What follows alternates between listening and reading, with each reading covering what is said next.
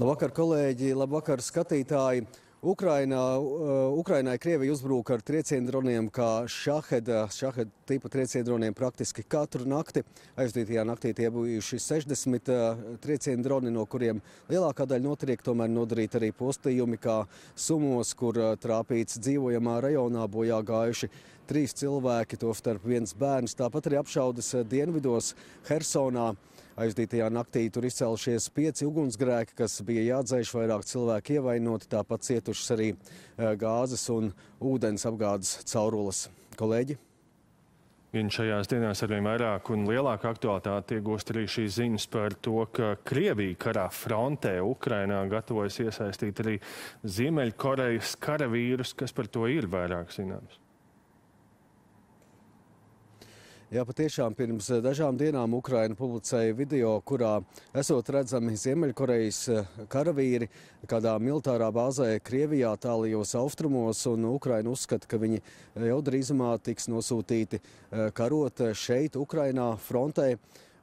Tas savukārt Eh, savukārt Dienvidkoreja, Dienvidkorejas izlūkdienesti arī paziņoja, ka pēc viņa aplēsēm aptuveni 12 tūkstoši Ziemeļkorejas karavīri varētu tikt nosūtīti eh, uz Krieviju, lai sagatavotos karam šeit. Eh, tas arī ir sāsinājis Dienvidkorejas reakciju attiecībā uz šo visu situāciju. Līdz šim Dienvidkoreja ir atbalstījusi Ukrainu, taču pamatā ar diplomātskiem instrumentiem, kā arī sniedzot humāno palīdzību, taču ne ar militāro atbalstu. Taču tagad Dienvidkoreja ir ieņēmusi asāku toni un tiek ziņots, ka Dienvidkoreja gan apsver sūtīt savus ekspertus uz šejienu uz Kievu, lai konsultētu Ukrainas valdību un bruņotos spēkus, gan arī apsver apsver, ka varētu pārskatīt savu politiku attiecībā uz bruņojuma eh, sniegšanu Ukrainai.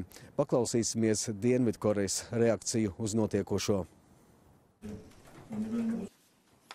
정부는 북한군의 즉각적인 Mēs pieprasām nekavējoties izvest Ziemeļkorejas karavīrus no Krievijas. Ja šī nelikumīgā sadarbība starp Ziemeļkoreju un Krieviju turpināsies, mēs nepaliksim malā, un valdība reaģēs stingrā veidā sadarbībā ar starptautisko sabiedrību.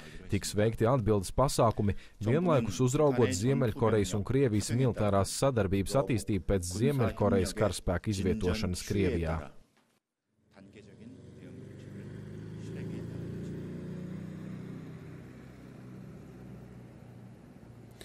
Un vakar šeit, Ukrainā, Kievā ieradās iepriekš neziņotā vizītē ASV aizsardzības ministrs Osins Loits, tikās ar Ukrainas prezidentu Vladimiru Zelenski, tika paziņots par jaunu palīdzības pakotni Ukrainai, taču visticamāk tika apspriests arī šis jautājums par Ziemeļkoreju.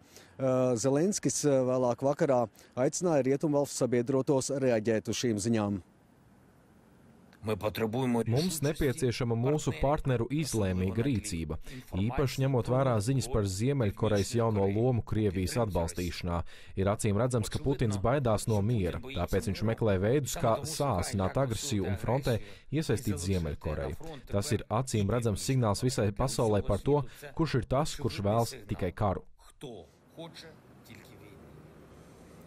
Tikmēr šeit, Ukrainā, uz vietas turpinās smagas kaujas fronts līnijai, tīpaši šeit Donetskas apgabalā pie Pokrovskas, tāpat arī Časivjerā, kas atrodas 20 km no šejienes. Eh, tiek ziņots, eh, ir izskanējis, ka Krievijas karavīriem esot izdevies eh, mazliet iespiesties tālāk pilsētā, taču Ukrainas armija paziņojusi, ka situācija tiek kontrolēta un pilsēta joprojām ir Ukrainas spēku kontrolē.